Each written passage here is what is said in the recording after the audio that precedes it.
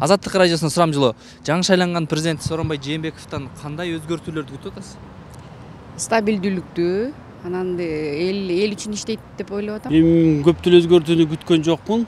Ал эми атамбаевдин ишенимдүү кишиси болуп келди да эми эми ошонун жолун улайбы дейм андан ары. Жаштардын баары талаалап атат. Менин оюмча жаштар үчүн менин оюмча фабрика менен эле завод салганды каалайм. Ошол өзгөртүүнү күтүп өзүнү күтүп атам мен чынакы балдардын баары тинтип атат чынакы балдар неберелерди барып куугурап атам мен чынакы Если честно, даже не знаю, потому что программы толком мы не слышали. Он сказал же, что у него вся его программа в голове и в сердце, поэтому я толком не понимаю. амнистияга киргизип баары бир чыгарыш керек дагы оппозициядагы кишилердин жакшы мүмкүнчүлүктөрүн биздин мамлекет үчүн жасай турган ойлорун пикирлерин аларды иштетиш керек колдонуш керек. Турасын айтайын. Мынау айлыкты обязательно. Анан мына жолду оңдоп берсе бизге ошо жакшы эле что вы ожидаете? Какие изменения ожидаете нового президента сооронбай жээнбеков Побольше бы порядка.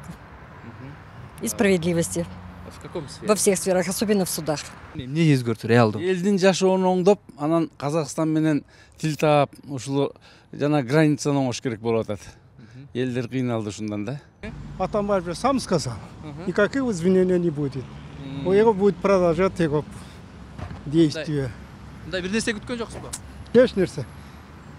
рахмат Мүмкін емес. Болушы да мүмкін емес. Его интеллектуальный уровень, его знания, все это доказано давно. бизге билим алууда көбүрөөк мүмкүнчүлүктөрдү түзүп берүүсүн каалайт элек чтобы люди лучше жили, чтобы мирились, ни о нации не понимали, все, чтобы как братья все жили. Вообще вариантов нет. Ну, может быть, с Казахстаном наладит отношения. И полегче будет чуть жить.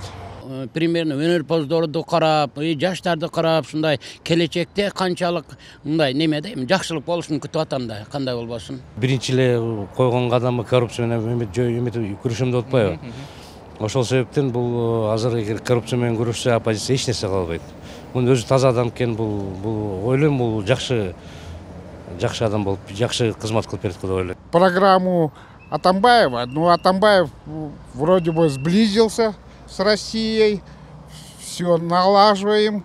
Ну, надо и с казахами сблизиться, и с узбеками, чтобы не было такого ажиотажа. Все такое-то, и с таджиками, кто рядом живет. Все надо мирно жить. Мы же братья.